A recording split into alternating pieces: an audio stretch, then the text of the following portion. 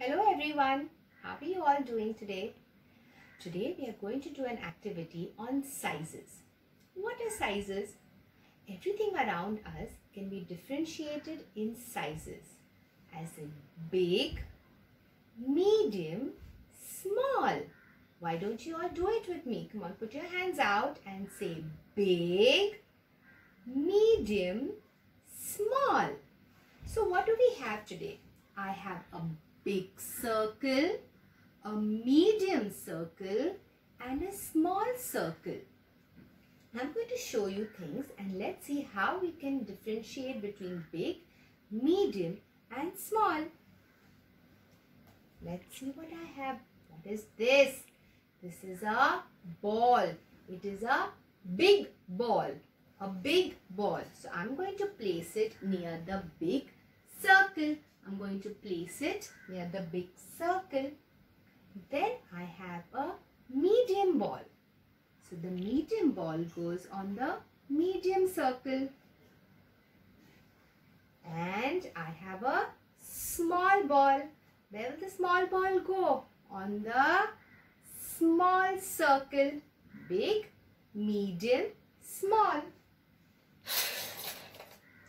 Now I have three spoons.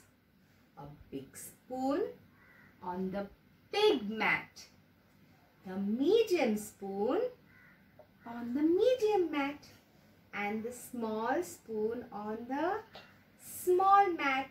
Big, medium, small.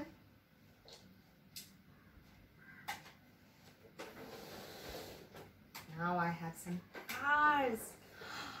This is such a big car. A big car which goes near the big circle. A medium car for the medium circle. And a small car for the small circle.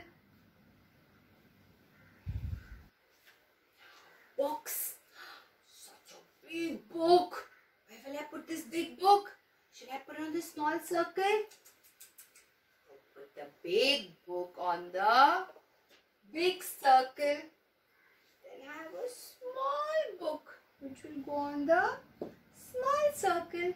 And this is a medium book. Where will it go? Where will it go? On the medium circle.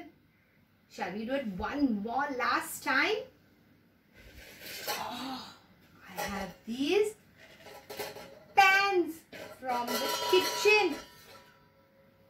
have a small pot which goes near the small circle.